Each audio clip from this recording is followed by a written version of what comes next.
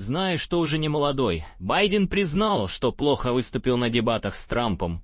Президент США Джо Байден признал, что плохо выступил на сегодняшних предвыборных дебатах с Дональдом Трампом Понтией. В то же время американский лидер отметил, что, несмотря на преклонный возраст, знает, как выполнять свою работу.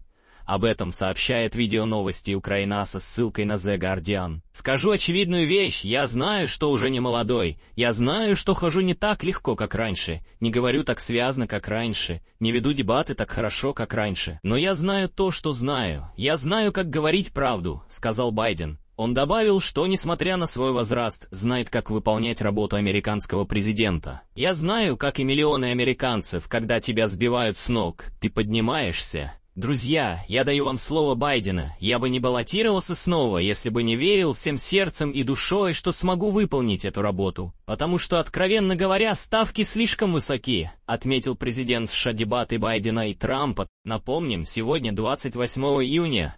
В штате Джорджия прошли первые из двух прений перед президентскими выборами в США между Джо Байденом и Дональдом Трампом Понти. Как сообщают СМИ, большинство американцев считают, что действующий президент США провалил дебаты, проиграл своему оппоненту. После дебатов в Демократической партии США заговорили о возможной замене Байдена другим кандидатом на президентских выборах.